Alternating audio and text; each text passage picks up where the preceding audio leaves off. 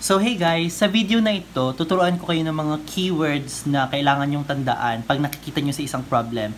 Anong operation ang inyong gagamitin? So usually sa mga word problems, especially sa age problems, ang ginagamit na operation dyan ay addition, subtraction, at multiplication. Multiplication. So, sa addition, uh, yung plus sign lang yan. So, alam naman natin yan sa elementary. Alam na. Subtraction, negative sign. Negative or minus sign. Multiplication is usually times or parenthesis. Hey, naka redundant na tayo guys kasi yan. Parenthesis and um, multiplication is times x. Pero, since algebra tayo, hindi natin gagamitin ng x ha. x si x. Okay.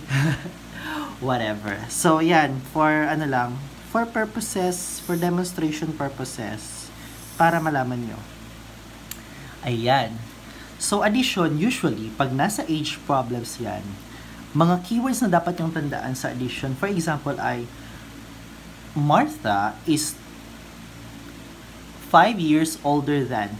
Pag, sinabi, pag sinabi natin older than, usually, yung lalagyan natin, yung xi, mag-a-add tayo. So, older than. Doon tayo mag-a-add sa x.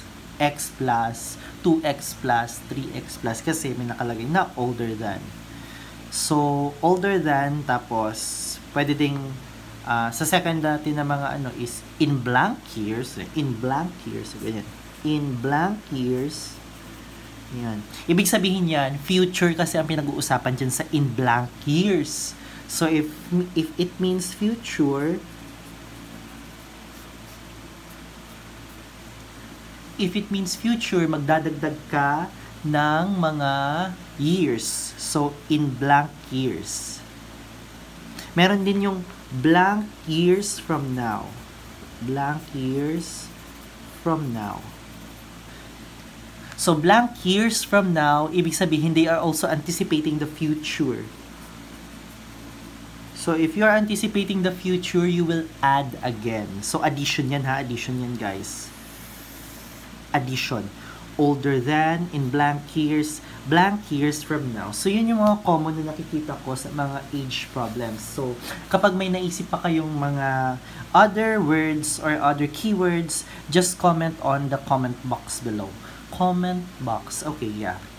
So, sa subtraction naman, subtraction, subtraction naman, yan yung pag sinabi nating older than, so, younger than, opposite of older than. So, younger than, younger than, younger than, hindi ka marunong kumanta, wag ka na kumanta. Okay, younger than.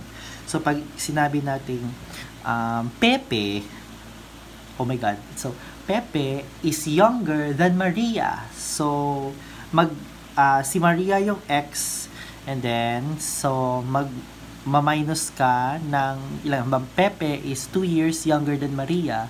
So, Mar X si Maria, X minus 2 si Pepe. So, younger than, magsasubtraction ka. Na, pwede ding magsasubtract ka kapag blank years ago Ayan. So, pag sinabi natin 5 years ago, so yung present age natin or yung present time natin, magma-minus ka lang ng 5. So, x minus 5. Ganyan. Um, ano pa ba? Wala na ako naiisip eh. So, years ago. So, usually yun lang eh. Younger than and then years ago. So, kapag meron pa kayong naisip, you can comment below para sa discussion natin. So, how about multiplication? Usually, pag multiplication yan, magkakaroon tayo ng twice. Nagamit yan twice eh. Twice the age of nyenye is ganyan yan. Twice, mag-multiply ka yan. Paano ba ang twice? That's two times. Pag thrice, that's three times. Pag sinabi namin, blank times, that's, ang example niyan is 4 times the age of Karen is 2 more than the age of Brian. Mga ganon. So, pag times, yan, magmumultiply ka. Magmumultiply ka dyan. So, ito yung mga nakikita kong na, na, na-encounter ko na mga keywords sa mga problems natin. So, addition, we have older than. In blank years, blank years from now. Subtraction, younger than. Blank years ago. And multiplication, we have twice, thrice, and times. Blank times the age of. Mga ganyan, the age of. So yan, tatandaan nyo yan guys. Yan yung magiging um, guide post natin sa mga next videos na ating i-discuss ang age problems. So, see you on the next video.